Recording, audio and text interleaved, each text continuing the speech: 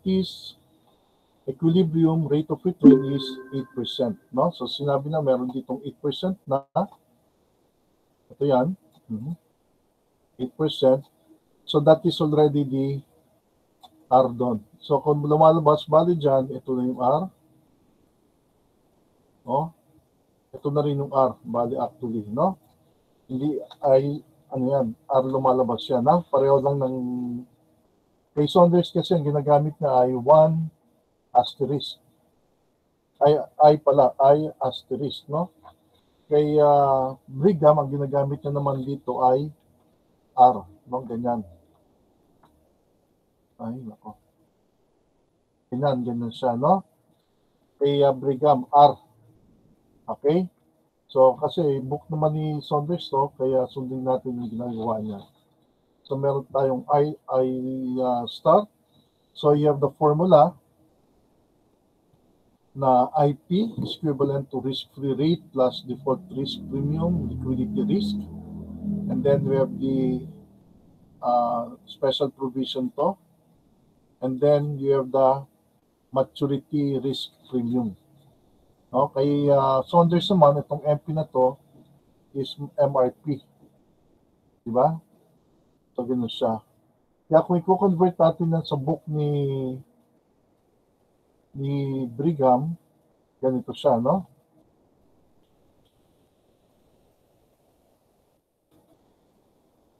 Meron tayong IP.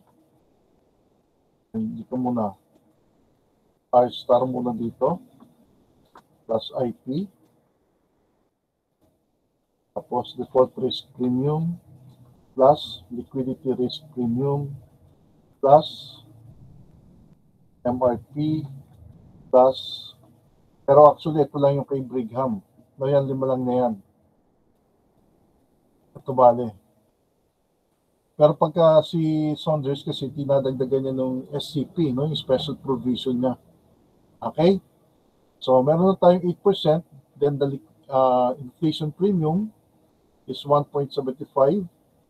Then the risk-free rate no, is 3.5. Then we have the 0.25 na liquidity premium. SCP is not given o wala. And then 0.85 for the maturity risk premium.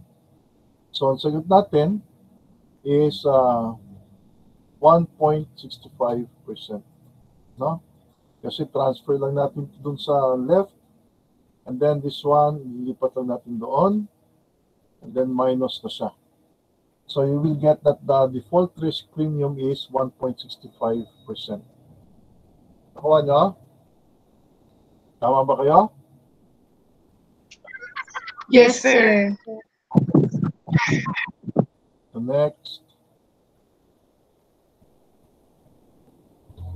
We are considering an investment in 30 year bonds by uh, Moore Corporation. So the bonds have no special covenants, and the Wall Street Journal reports that one-year T-bills are currently earning 3.25%. So your broker has determined the following information about economic activity and Moore Corporation bonds. So meron tayong given ng mga real risk-free rate, default risk premium, liquidity, and maturity risk. No? So tinatanong na sa atin ay yung inflation premium. Kaya dito, hindi lang naman binigay yung inflation eh, di ba?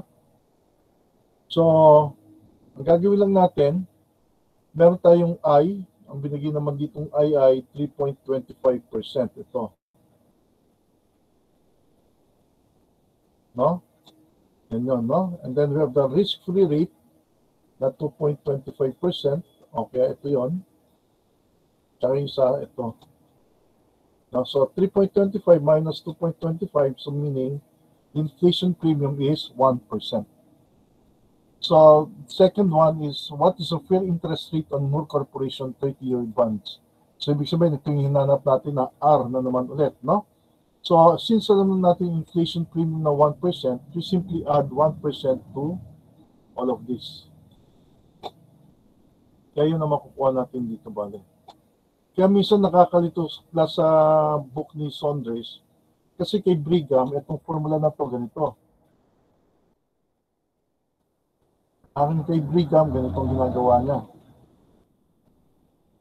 Meron siyang R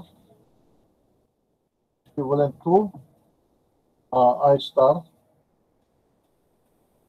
I star bale tapos plus IP. No? Ganyan siya. Dito kasi kay Saunders, ang ginagamit niya yung real risk-free rate. Sa bagay, real risk-free rate. That, that is in the absence of inflation. Kaya dito lumalabas, yung treasury bill natin na to, that is actually the real risk-free rate of investment or the risk-free investment value. Kaya lang kasi ang description nila magkaiba eh, no? Si si Brigham ginagamit niya dun sa real risk-free rate AR star. When in fact, yung sinasabing real risk-free rate or the R star, that is in the absence of inflation. And then the nominal rate R, that is already the inclusion of the inflation. So kaya ang nakakalito rito ito class, itong term na ginagamit nila. No?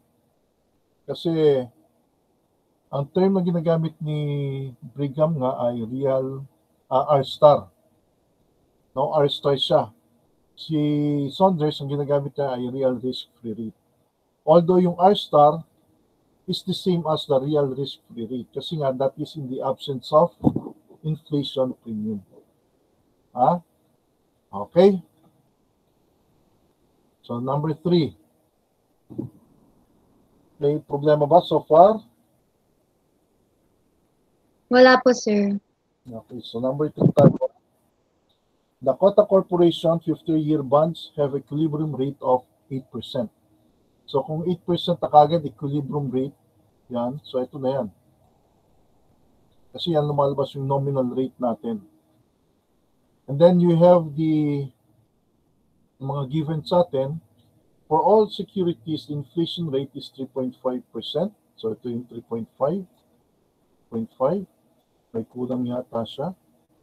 0.25, 0.25. So, lagyan natin yung highlight ha, para makita natin. Para may kulang yung problem. 3.5. Yung meron nga po, wala siya nung R-star. Ah, wala yung R-star, ano?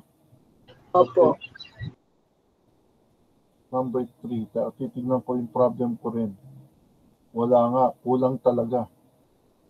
Hindi nakalagay yung real risk-free rate niya. Tapos 0.85 ito eh. So kulang. So anyway, uh, lumalabas dito yung real, lagay na lang natin, real risk-free rate uh, risk-free rate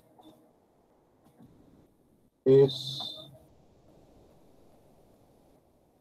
0 ay 0.0175 no? Ayan para tumama lang yung problem ha? Ayan. So meron tayo neto bale. Ito na siya no? So dagdagan na lang ninyo ha? Okay so yan.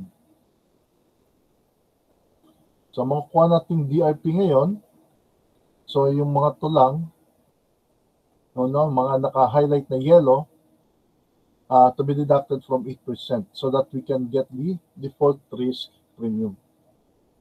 Okay? Uh, madal, may uh, ano lang, no? Kulang lang ng isang item. Yung uh, 1.75% for the inflation premium. Uh, sige, next. So a two-year treasury security current currently earns 1.94%. So, ito na naman siya. Kasi yan ay kinikita mo eh, no? So, yan ay equilibrium. That is the nominal rate R. So, over the two years, the real risk-free rate is expected to be 1% per year. So, ito yung 1%.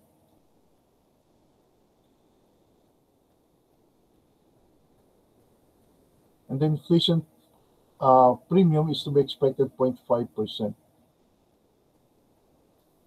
So, wala tayong default risk premium, wala tayong liquidity, pati special provision, no? But we have the maturity risk premium. So, you get only the difference So you get 0.44%. Okay? So bakit kaya wala nito class? Ba't zero pareho? Ha? Tingin na bakit zero yan? Kasi treasury, sir. Okay, because that is what? Two year. Pero dapat meron eh. Diba? Dapat meron yan. Maturity, sir. Ay, Two year eh. Two years siya, di ba? Pero dapat meron yan. Na bakit dapat meron? Ba't niya kaya siniro niya eh? Pero bakit dapat meron yan class? Sir, Ah? kasi po more than one year yung security, sir. May risk na. Okay, that's correct, ano? Kasi the treasury is more than one year. So if the mature, if the treasury is already more than one year, there should be a default risk premium and liquidity premium. Kasi lumalabas ang compute itong formula na to, no? Ah, pang long term actually yan eh, di ba? Pang long term yan. Ito, two years should be considered already as long term. Kaya dapat magkaroon siya ng default risk premium dito at saka ng, tsaka ng liquidity premium.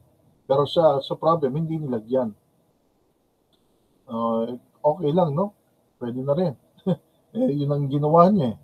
Ginawa ang problem ni ano. Pero dapat meron ditong laman. Kasi it is more than one year. Okay, next. Ulit-ulit lang ano eh pero ito may kakaiba na rito, ha? May kakaiba ng problem dito. Additional information pala. So we have Tom and Sue's Flowers Incorporated 15-year bonds are currently yielding a return of 8.25%. So yung 8.25 na yon, dahil yielding na kagad siya, no? Nandito na siya kagad. 8.25%. And then you have inflation premium na 2.25. Tapos meron tayong ah, risk-free rate na 3.5. And then we have the 0.80 na default risk premium. And then the liquidity risk premium is not given. Pero sabi rito, yung maturity risk premium, ito, tingnan nyo, Sabi nga ay 0.75% on 5-year securities and increases by 0.4% for each additional year to maturity. So kung for 5 years pala siya, 5 year, no? 5 year yan, kaya rito ay 0.75 lang. Okay? And then, sabi na, it will increase by 4, no, 0.04% for each additional year to maturity. Ito ay 5, tapos ito ay 15 year na bond. So, ibig sabihin, 15 minus 5, 10. Kaya meron tayo rito 0.04% times 10. So, yun ang makukuha natin, no? So, yung 825% minus natin itong mga to, you will get 0.55%. So, that is your liquidity premium. Nakuha nyo? Tama ba yung sagutin niyo, class? Yes, sir. Tama kayo? Hindi po tama. Yes. sir. Yes, sir. Yung iba, kumusta? Di ba sabi ko sa inyo dyan, pagka given on how to compute for the maturity risk premium, use that, di ba? But if let's say this part, no, it's not given, then you will use the formula of Brigham, which is 0.1 times t minus 1. Di ba? Pagka wala yan, wala yan, ang gagamitin yung ah, maturity risk premium, di ba? Ayan o, yung 0.01% times that time minus 1. Ba yan sinabi ko sa inyo?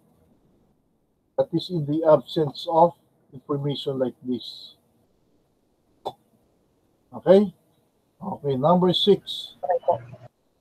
So, Nicky G's Corporation, eh, pa- pare-pareho lang naman class. Ang pagkakaiba lang niya, ito, ulit, no? Nabubor na yan, nabubor na rin kayo, eh, no? Ha? Hanggang dito, di ba? Ha? O yan. So, yan lang pagkakaiba na nila bale, kasi meron tayong 0.10% for 2 years. So, kaya nandito na yung 0.10. Tapos, eh, 10-year bond to, ito 2 years, kaya meron tayong 8. Ha? So, yung 8 na yan, sabi, increases by 0.05%. So, ito yon. Kaya, kung makukuha natin, then meron namang given na 5% ng 0.05. Bakit 0.05 yun? Kaya tingnan natin na current yield, yielding, ah, mali. 6 dapat to. Ah, 6. 6.05% kasi ito yon. Ah, yielding eh, no? So ito yon. Okay, babawas lang natin ulit itong mga to. Okay? But you're looking at DRP. O kaya transpose lang natin yung sa left. Ito, papunta roon. And then this one is transferred to the right. Okay, makukuha natin DRPI 2.2%. Okay? Clear ba yan, class? Clear? Yes, sir. Okay, number seven. O, ito iba na to. so, meron tayong the current one-year treasury bill rate is 5.2% and expected one-year rate 12 months from now is 5.8%. So, according to the unbiased expectations theory, what should be the current rate for a two-year treasury security? Alam naman natin na ito yon. Kaya meron tayong 1 plus 0.052 tapos yung second year naman, ito ay 5.08. So 1.058. Then raised to the power 1 half minus 1. So ibig sabihin, ah yung rate, bale, kasi itong, ano ba itong binigay na rate na, na to? Yung mga yan. That is the rate for first year. This is the rate for the second year.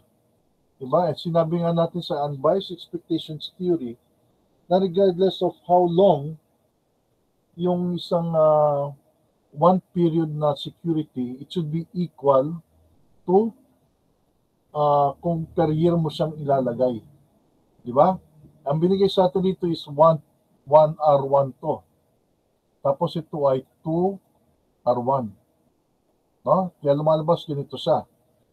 Ito 1.052 ay 1 R1 tapos ito naman ay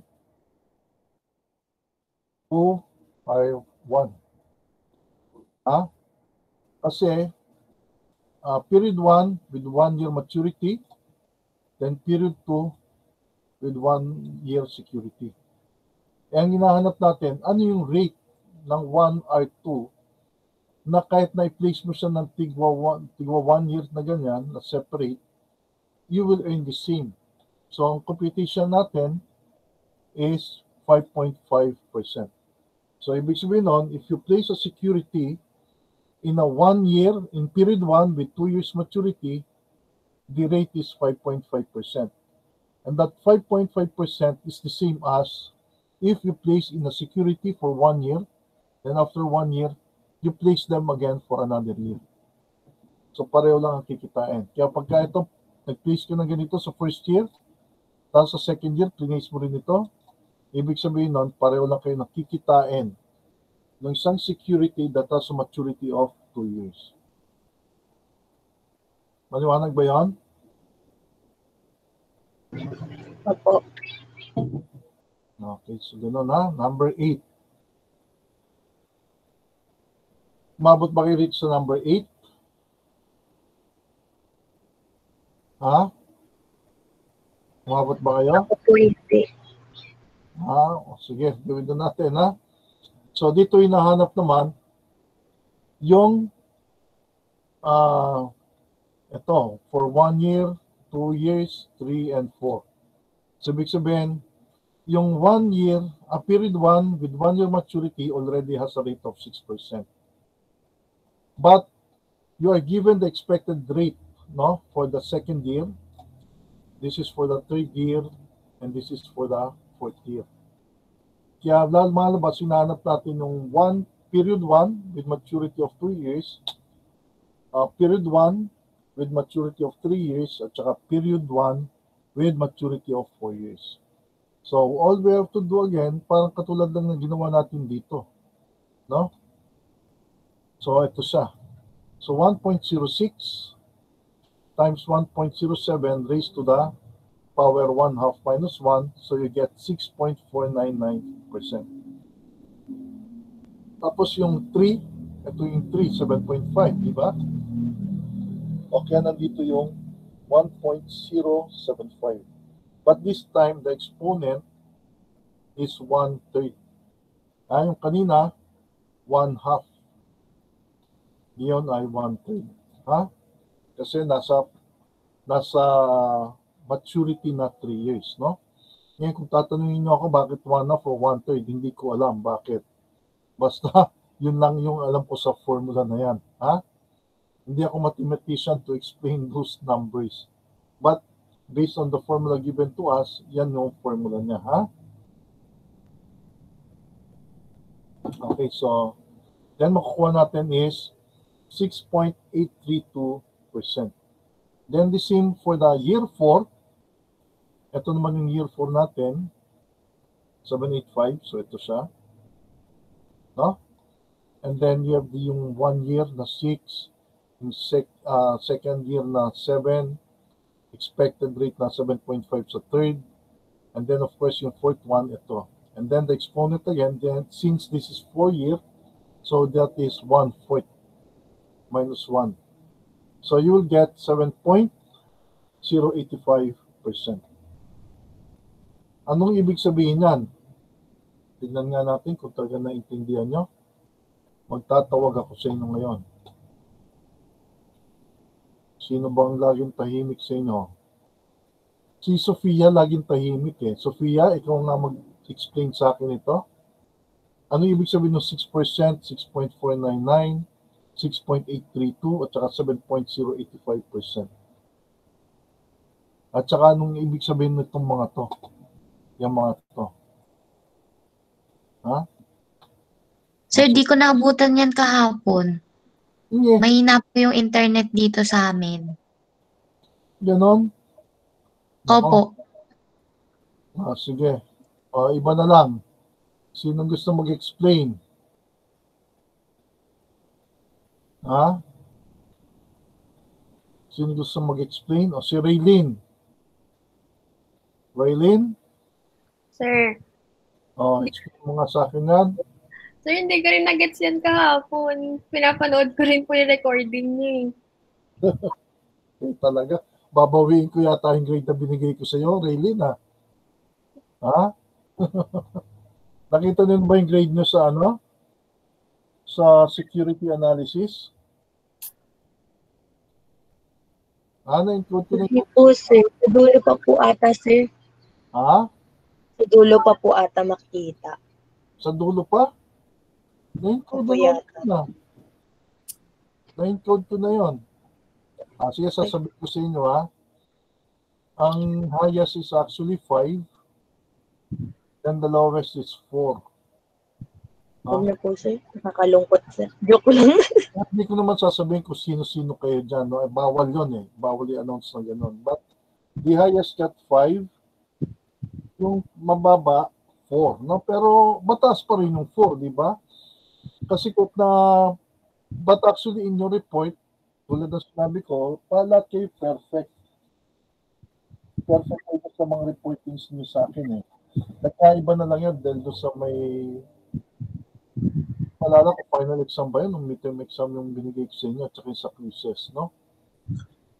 Kasi hindi mo pwede kasi pare-pareho talaga ang grade ninyo kahit nabigyan ko ng 100 lahat. Baka magugulat sila kung, kung lahat kayo 100 sa lahat, no? Kaya nagbibigay ako ng quiz para mag-vary yung grades ninyo. Okay, pero mataas pa rin naman yun, ha? Okay, so anyway, to explain that, ibig sabihin nun, kung ang expected return mo ay 6%, So one year, uh, actually one year is already 6% talaga. But uh, if expected return for the second year is 7%, dapat, kasi ito individual to eh, parang nilagay mo sa isang security, tapos linase mo ulit ng panibagong security. Diba, ganun siya. So kung bawa yung first year na security na yun, tapos yung linase mo ulit, and, well, mali, ulit. Kung bawa ang interest rate ng first year ay 6%, ang rate ng second year ay 7%, dapat, no, dahil sa indifferent kayong interest rate, dapat pagdating doon sa one year, uh, one first period with two years maturity, ang dapat 6.499%. So, ibig sabihin nun, kung nag-place ka ng one year na 6%, tapos nag-place ka ng another year na 7%, dapat kung mag-place ka doon sa one year, a period one with two year maturity, dapat ang kitain mo ay 6.499%. So the same thing with this one, if the rate for first year is 6%, expected rate for the second year is 7%, and expected rate for the third year is 7.5%, dapat yung mag-place ka sa period 1 with 3 years maturity, dapat ang kitain mo ay 6.832%. So, ganun lang sinasabi niya na kahit doon sa fourth year, ganun. Kung nag-place ka ng one year, another year, another year, another year, pagka nag-place ka sa period 1 with 4-year maturity, dapat nakitain mo ay 7.8 ah, 7.085% para hindi ka lugi. Kumbaga, pare-pareho lang kayo kinikita rito. Yun ay syempre kung nag-place ka ng 1 year dito, tapos another 1 year, then another 1 year, then another 1 year. Kasi kung nag-place ka lang dito ng 1 year, syempre hindi ka mag equal dito, no? Ah, hindi ka mag equal kasi ito ay 1 year lang. Nag-place ka sa period 4 with 1 year maturity. Eh, swerte mo lang na mas mataas to. No? But this one, of course, this one, you earn that for 4 years. Ito naman, you earn this for 1 year. Oh, so, ganun lang siya, ha? Okay, number 9. Ah, pareho lang ito ng number 8. Oh, tama. Pareho lang siya ng number 8, no? Huwag na natin balikan to. No, pareho lang siya ng number 8 bale. O, pero sige, uwi na rin natin. Ah, nandito na eh, ha? So, meron tayong 1 year. Ito, 3.45%. And then, 1 year treasury bill rates will increase to 3.65. So, hiningi sa atin ay yung period 1 with 2 year maturity. Ano yung magiging interest rate? So, meron tayo rito 1.035 at 345 times, no? So 1. Point, uh, 0365 then raised to the power 1 half kasi 2 years lang naman eh. Then minus 1, we get 3.55%. Okay, bago ako dumiretso, question muna kayo. Question. Question? Non, sir. Wala, wala. Sir, bakit po yung sa MRP, di ba po yung, kunyari, first, opo, pa, kunyari po sa first 5 years, 75. Tapos po, ip, ipa-plus lang po talaga yung ano, in theory po, kunyari po, di ba yung point Babalikan- 75? babalikan natin. Ang layo ng tanong mo, Audrey. Babalikan Opo. natin. siya. Hindi, sir, kasi po, kanina ko po iniisip yun. Oh, sige. Ang tinatanong mo, Opo. bakit extend lang? Eh, hindi po, sir, itatop up lang po talaga siya, ipa-plus lang. lang siya. Oh, hindi naman siya compounded eh. Ah, okay po. Ah, kung Sige po, compounded yan, hindi ganyan. Opo. Kasi increase lang na naman sinabi, eh, no? So mag-increase siya ng 4%, another one year, 4%, another one year, 4%. Ganun lang naman siya, eh. hindi naman siya compounding na sinasabi. Pagka compounding yan, hindi. No? Iba yon pagka compounding. Kasi pagka compounding yan, halimbawa dito sa problem na to, ang lalabas dyan ng formula niya, ganito. Diba? Lalabas na ganito. Uh, Bali 1.0004. Ganyan siya. And then 10 exponent siya. Lalabas yan ganyan. Tapos dito is uh, 0.75%. Hmm, ba't nawala?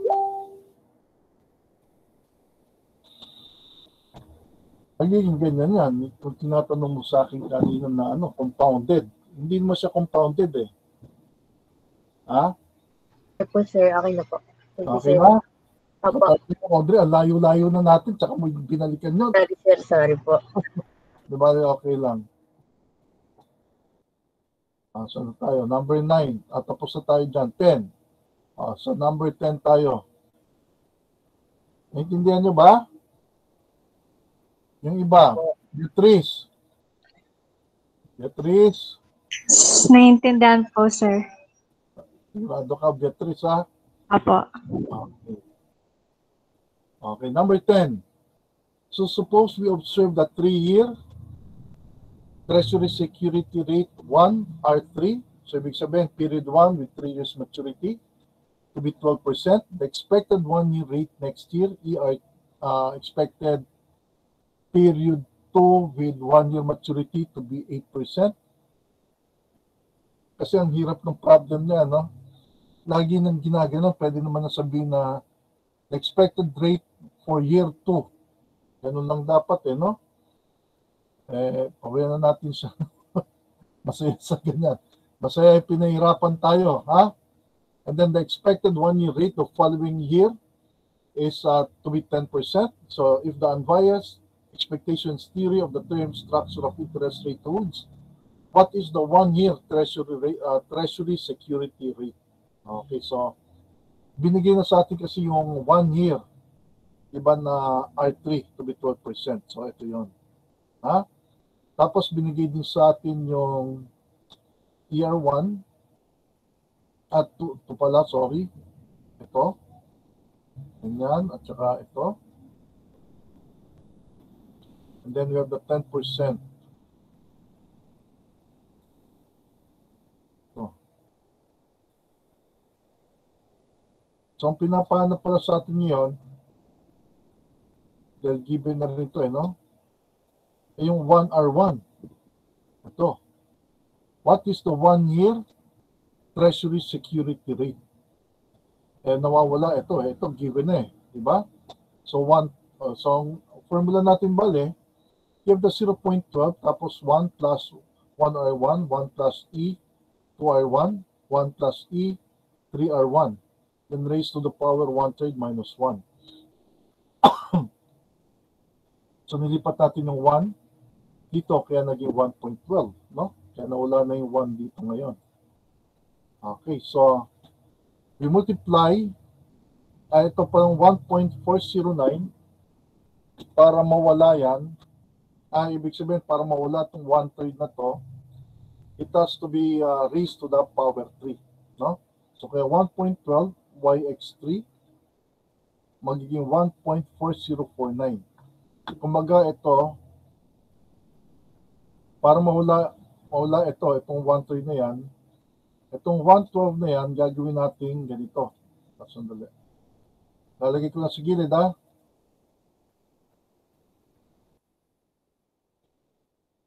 Magiging 1.12 raised to the power 3.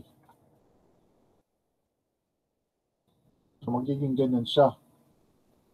Okay, para mawala itong 1 third.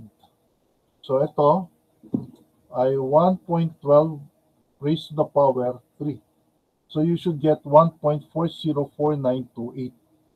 Kaya lang kinuha ko na lang yung 4 decimal places. Nakuha nyo? Eh, dala ba kayong calculator o hawak ng calculator? Yes, sir. Yes, sir. Okay, so gano'n na siya ngayon, no? So pagdating dito ngayon, yung 1R1, transfer lang natin siya syempre doon. And then we have the 1.4049 naman doon. Divide natin dito sa 1.08 at saka 1.1. No, yun lang siya. No? Makukuha na natin yung 1R1. Kasi once we multiply the 1.08 by 1.10, we will have the 1.11, uh, ito, bigyan natin ng additional dito.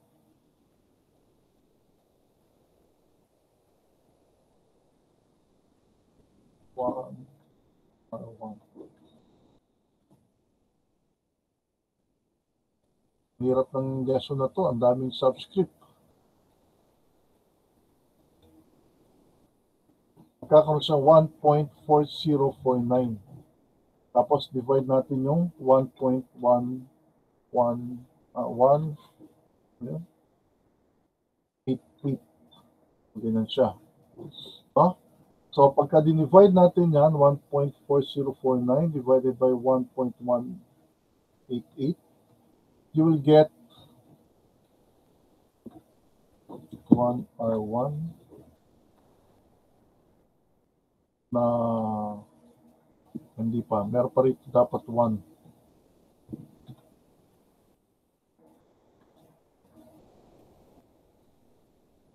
Ito. 1.18. 6. So dito meron pa rin tayong minus 1. Pag ganyan siya balik class, ha?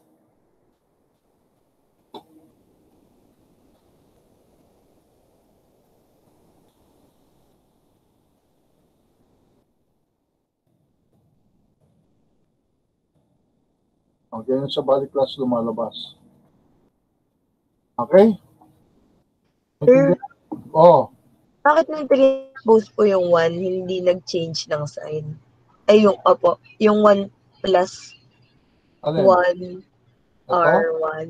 Opo, na- nung, Kasi nung, pag nilipat ko rin doon, mag-negative eh. opo, Oh, di ba? Kung So- mag-negative siya, ano di- sir? para mawala yung ano, divide mo siya ng negative na number din para divide mo ng negative 1 Okay para po, positive sila, di ba? okay po sir. Kasi nilipat mo naman tong buong turoon eh. Huwag na negative yan. Pagka nilipat mo rin to, doon, huwag na negative din. Tama ba? Opo, opo, opo. Tapos divide by 1, negative, pareho. Okay This- po. this Para mawala po. Oh, para mawala yung negative 1. Okay sir, thank you po. Ah, para mawala pala yung negative sign. Okay na po sir, thank you po. Ah, sige, tapos na tayo dyan. So we have 18.26%. Okay, clear? Oho, next. Yes, sir. Oh, number 11. Ayan, dalawa na lang. Dalawang problem lang tayo. Uh, this one is uh, actually forward rate naman na, no? Forward rate na tayo ngayon. So yung forward rate, di ba, dinidivide lang natin, no? Ito yung one year forward rate. Forward rate na tayo. So meron tayong 1R2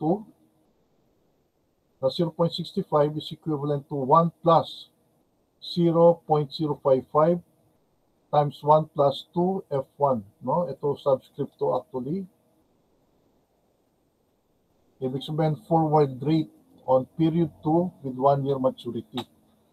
So, so bali mangyayari ngayon, para mawala ulit ito, ito exponent to. So para mawala ulit yung sign na negative, ah, na 1 half na to, no? at saka yung negative 1 na to. So yung 1, yung 0.65 na yan, magiging plus 1. Di ba? Magkakaroon siya na ngayon ng 1.065 tapos raised to 2 para mawala itong 1 half. At saka itong 1 nga, transfer lang natin doon. Okay? Then divided by 1.055. Tapos minus 1, kasi ito yung 1 eh. May 1 to eh, di ba? So binawas natin yung 1. So you will get that the 2F1 is equivalent to 7.51%. Okay? Tanong, tanong muna, baka nalilito. O, ayusin natin ng konti. So lalabas dito kasi, magiging ah, 1 ay 1.065. Diba? Hindi, pareho lang eh. yun din yun. Tapos, ah, magkakaroon lang tayo ng 2. Ito dito. Diba? Is equivalent to 1 plus 0.055. Hirap mag-type ng ganito. Tapos meron tayong 1 plus 2 F1. Ayan, ganyan siya lalabas, di ba?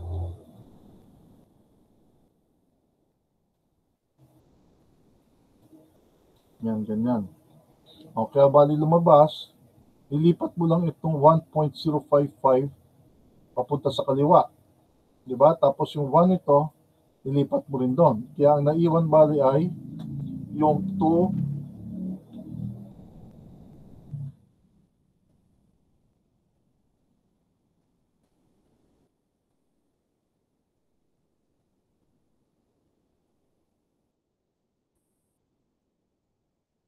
Yan, bali ganyan ang nangyari class, no? Yan, siguro mas maliwanag ang presentation yan, no? Ah, Di ba? Ganyan sa bali nangyari class. Kaya napunta rito yung 2F1.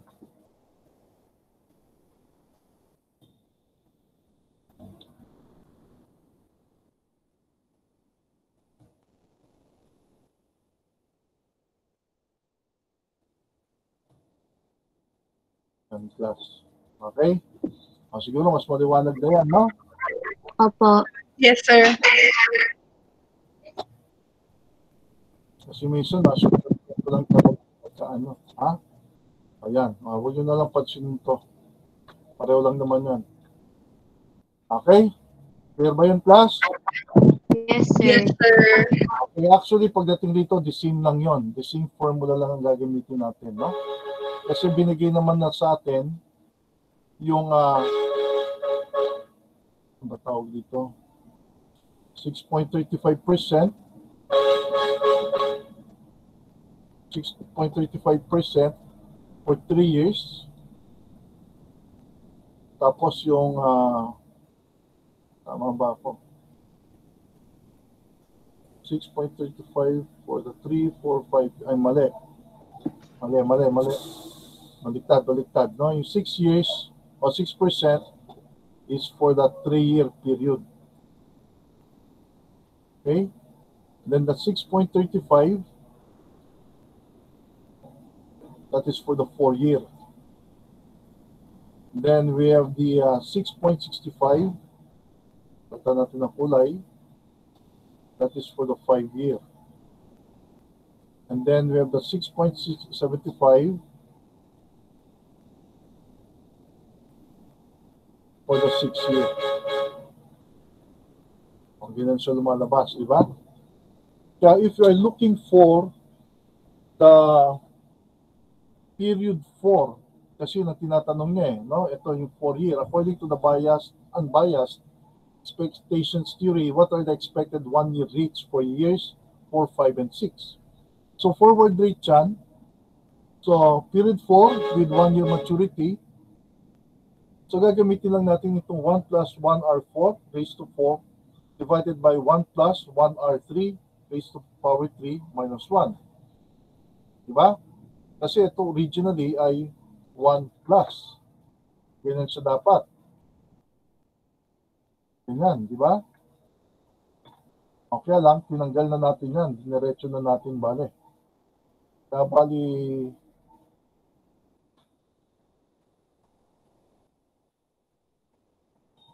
ganyan na siya bale, no? Kaya kung kinuha natin, yung 0.0635 raised to the power 4, then 1.063 raised to negative 3 minus 1, you will get 7.41%. Tapos dito sa 5 F1. So, kukunin natin yung 5, bale. Sana ba yung 5? Itong 5 is 6.65. So, 1.0665 raised to power 5 and then 1 plus or 1.0635 raised to power 4 minus 1 you get 7.86%. So pagdating sa 6, ganun din, din, no? Pagdating sa 6, we have 6.75. So 1.0675 raised to the power 6. And then we have the 1.0665 raised to the power 5 minus 1. And you will get 7.25%. O, ganun siya class. Ha? Nakakalito lang kasi ang dami ng subscript na ginagamit. Uh, may question kayo, clarification, because that is the last part no, ng ating exercises. Bibigay ko lang sa inyo ito ngayon, na? Ito sa Facebook. Thank you, sir. Salamat po. Okay, may question ba kayo? Question, clarification? Sir, Oo. sir, uh, on Wednesday, the quiz you'll be giving us, right? Is it similar to this, like all computations? Now you have concepts and computations. The same, the same before. Now I'm giving uh, concepts, and then the part two is always the problem. Okay, Kasi sir. How many topics na ba tayo? From the start tayo eh, from the start. So parang lumalabas, parang midterm nga siya. But, but instead of being a midterm, it is a quiz. Because the midterm grade, I will be basing it on the uh, movie, parang movie, anong patawag dyan? Yun yun, basta yung sa movie na yon with your paper. Ah, you apply what you learn, everything you learn in finance to that movie. Okay, para kayong gumagawa ng movie rep- ah, ng movie report ba ang tawag doon? Parang ganon. O movie review pala. But you have to apply yung finance. Sir, um, for the quiz po, ano po yung coverage again? From the start, Okay po, sir.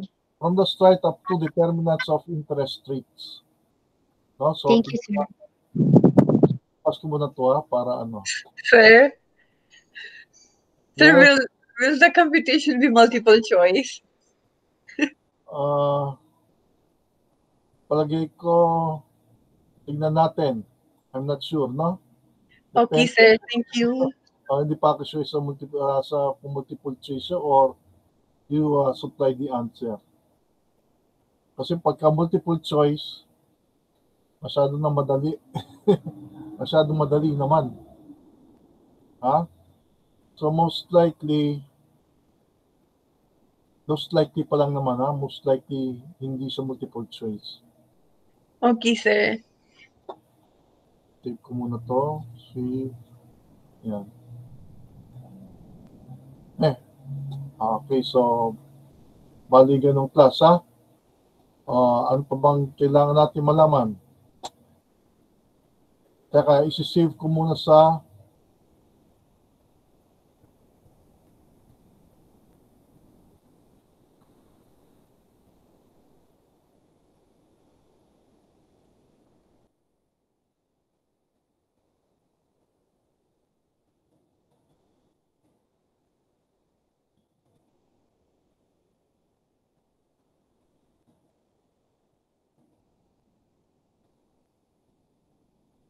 ay, nakablend nag-ano sa akin. Sandali ah. Nawala yung ating group. Kasi pagka ang stocks gumagalaw, tinatawagan ako ng mga marami, no, no, faculty, nagtatanong sa akin. So anyway, ito yung sagot tayo, bibigay ko na sa inyo.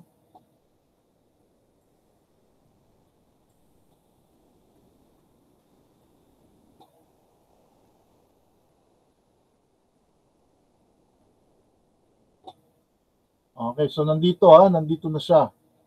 Naka, nasa Facebook na. Ha? Paki-check na lang ninyo. Yes, sir. Thank you.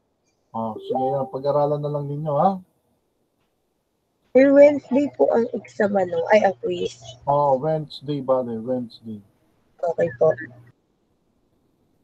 Okay, so kung wala na tayong tanong, pwede na tayo mag log out, no? And again, thank you very much. Salamat po, sir. Thank you, sir. Okay. Thank you, sir. Thank you. Bye po. Bye-bye. So, naka-record pa tayo.